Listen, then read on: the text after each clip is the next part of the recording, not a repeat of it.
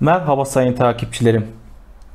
Bugün sizlere kayısı ile ilgili bir video çekiyorum. Şu anda Gaziantep'te oturmaktayım. Gaziantep'te yaz ayı geldi. Kayısı yemek istedim. Marketlere gittim.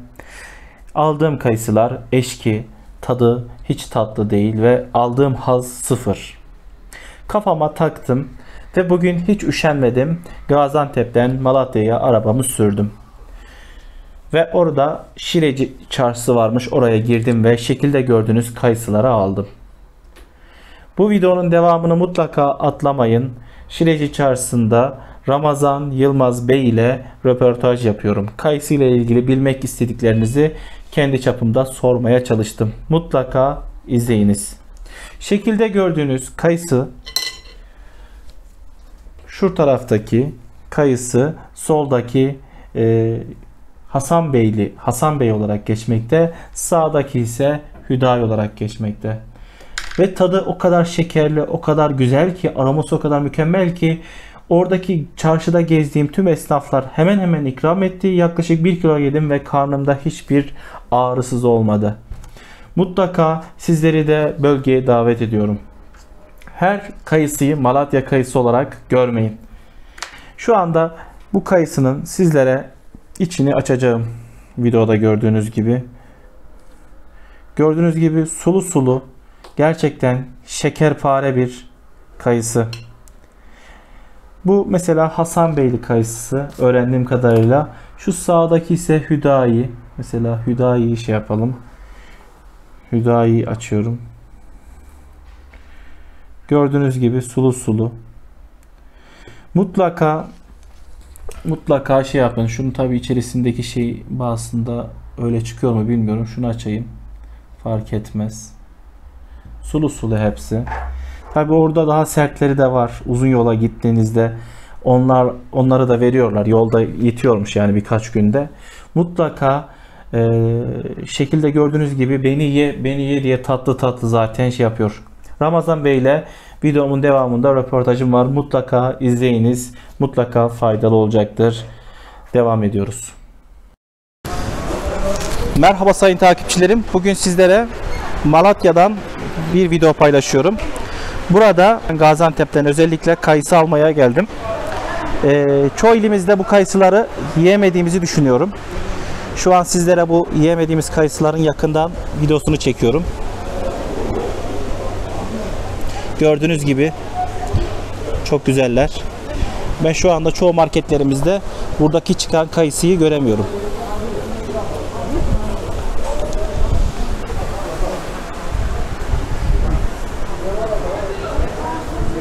Şunun güzelliğine bakın.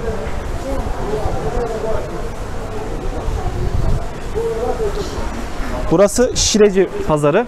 Şireci pazarındayız. Şu şekilde.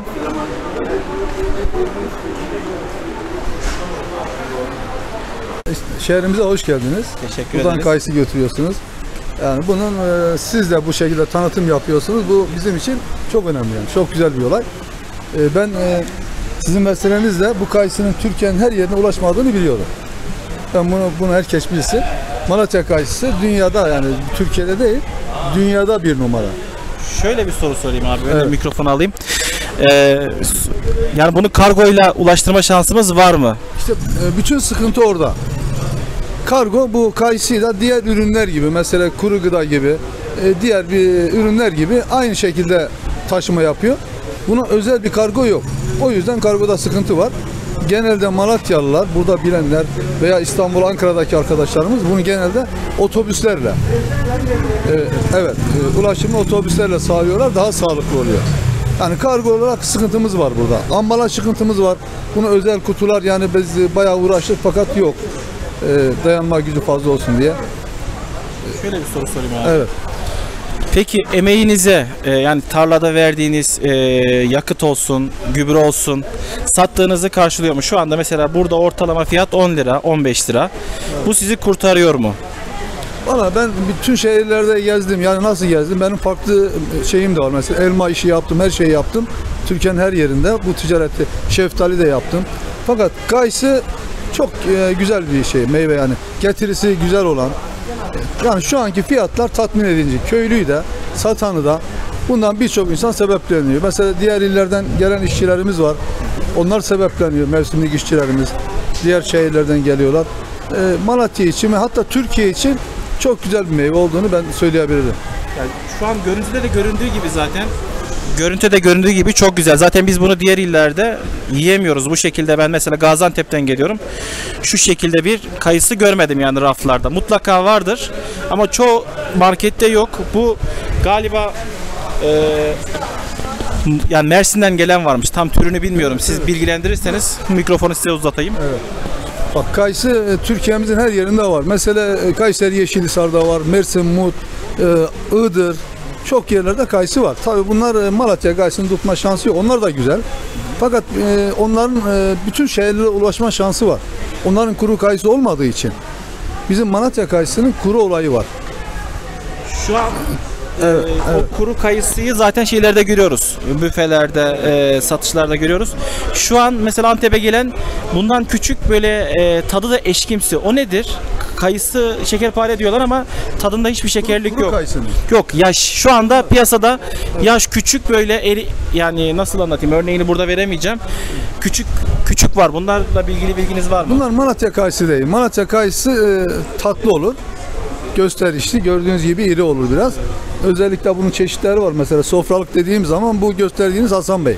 Hasan Bey. Hasan Bey. Bunlar sofralık. E, kaba aşı. Ondan sonra şekerpare dediğimiz var. Çok küçüktür ama e, reçele gider. Çok tatlıdır. Yani çok özel bir kayısı. Yani bunun e, Türkiye'nin yani her yerinde bunun yenmesini isteriz biz. Türkiye'de birçok insanın Malatya kayısını yemediğini biliyoruz. Çünkü buraya geldiklerinde tadına baktıklarında aa bu kayısıysa öbürleri ne diyorlar yani. Ya şu anda ben yaklaşık e, tüm esnafları fiyat için gezdim. Yaklaşık şu anda 1 kilo yedim herkesin ikramıyla. Daha karnım ağrımadı. Ama sonradan tırmalar mevzusu var mı bunda? Yok yok. Yok özellikle bu son yıllarda organik olayı var Malatya'da. Kayısılar genelde kuru kayısı yapıldığı için fazla ilaç atılmıyor. Organik e, yetiştiği için. Şu anda bundan bir kilo da yeseniz rahatsız etmez. Bu 3-5 yıldır hep organiğe döndü Malatya. Çünkü Avrupa'ya gittiği için bunlar e, çeşitli tahlillerden geçiyor. Yani şu anda Malatya kayısının organik herkes rahatla yiyebilir. Şu anda şey hakkında bilginiz var mı? Ne kadar ihracat yapıyor? E, kaç ton mesela yurt dışına? Daha çok yurt içine mi satışlar var? Bununla ilgili bilgi verme şansınız var mıdır? Tabii tabii. Bu kuru kayısı benim olayım değil aslında da fakat ben yani bildiğim kadarını söyleyeyim. Bu kuru kayısıçılar daha iyi bilirler. Ben bu seneki rekoltenin e, 100 bin ton olduğunu biliyorum yani basından. e, Bu kuruluşların açıklamalarından. Bu genellikle en büyük ihracat pa- pazarımız Amerika. Ben öyle biliyorum. Dünyanın bütün e, ülkelerine hemen hemen yetişiyor. Rusya, Amerika kuru kayısı olarak. e, En ağırlığı da Amerika olduğunu biliyorum. Teşekkür ederim. Peki e, buraya gelecek olan arkadaşlarım hangi mevsim dönemlerinde gelirse bu güzel kayısıdan yararlanabilir? Şu anda galiba Hazi- Haziran bitmek üzere. Temmuz giriyor. Kaçıncı aya kadar faydalanabilir? Buradan gelip bu ürünleri yiyebilirler. Bu Haziran'ın 15'inde başlıyor turfanda olarak. Ee, Ağustos'a kadar devam ediyor. Ağustos'un Tabi. Ağustos'un sonlarına doğru devam ediyor. E, çünkü Malatya mesela baraj kenarına başlıyor, yüksek yaylalarda bitiyor. Malatya'nın dağı taşı hep kayısı oldu şimdi zaten. Ya bu aşağı yukarı 45-50 gün bu sezon devam ediyor. Malatya'nın e, yapısı dolayısıyla. Kuru kayısıyı yapmak için kaç kilo yaş kayısı kullanılıyor mesela? Onun kaç kilo yaş e, yaş kayısıdan e, elde ediliyor bir kilo kuru kayısı? Şimdi genelde genel olarak dörtte bir. Fakat bazı bölgelerimiz var. Biz şire diyoruz yani şeker oranı yüksek olan yerlerde 3 üç, buçukta bir olan yerler de var ama genel ortalama dörtte bir. 4 kiloda 1 kilo kuru kayısı kalır. E, bu da e, Hacı Haliloğlu dediğimiz, şekerpare dediğimiz, Çataloğlu, soğancı bunlar çeşitleri daha çok çeşitleri var mesela bunun. E, bunlar e, üçte bir, dörtte bir civarında. 3, 4 kiloda 1 kilo kuru kayısı oluyor yani. Siz de soy isminizle birlikte söylerseniz. Ben Malatyalı, Malatya'nın yerlisiyim. Ramazan Yılmaz. E, hatta daha doğrusu eski Malatyalıyım ben. Antalya'da burada. He. E, ben size söyleyeceğim çok teşekkür ediyorum ben size. Bu tanıtımı yaptınız. E, yani burada her zaman geldiğiniz zaman kapımız bütün ya e, diğer illerden gelen arkadaşlarımıza her zaman açıktır. Gelip burada yiyebilirler serbestçe. Ramazan Bey'e teşekkür ederim. Ee, yani şöyle bir güzel yanı var. Ben kendisinden alışveriş yapmadım. Başka yerden alışveriş yaptığım halde mütevazi bir şekilde e, kameramın karşısına da çıktı. Sağ olsun teşekkür ederim. Buradaki tüm esnaflar iyiler. Ee, fiyat farklılıkları var. Ee, son kez onunla ilgili bir soru soralım mı Ramazan Bey? Neden bu kaynaklanıyor fiyat farklılıkları? 5'ten 15'e kadar bir fiyat farkı var. Bu fiyat farkı genelde kayısının çeşidiyle kaynaklı. Hudayi var mesela biraz daha ucuz. E, Kabaşı var. E, Hasan Bey var.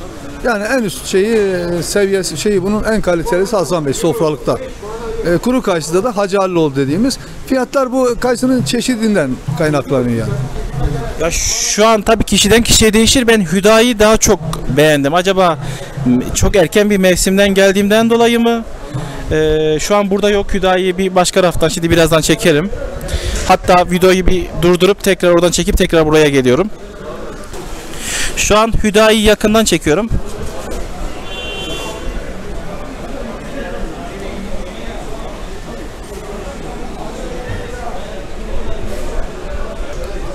Şimdi Hüda Hüdayi Kayısı'yı az önce çektim. Ee, videoyu aldım. Sizde yoktu.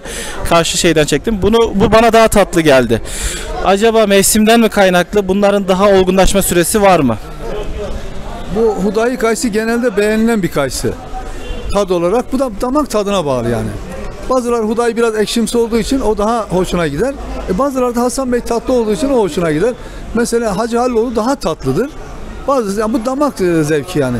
Ama hepsi de birbirinden farklı ayrı güzel. Marmalette hangisi en iyisidir? Marmalette. Marmelatta genelde Hacı Halloğlu'nun olgunu. Hasan Bey ve Hacı Halloğlu. Hacı Halilioğlu şu an burada. Şu anda mevsimi değil. Şöyle 10-15 gün sonra inşallah çıkacak.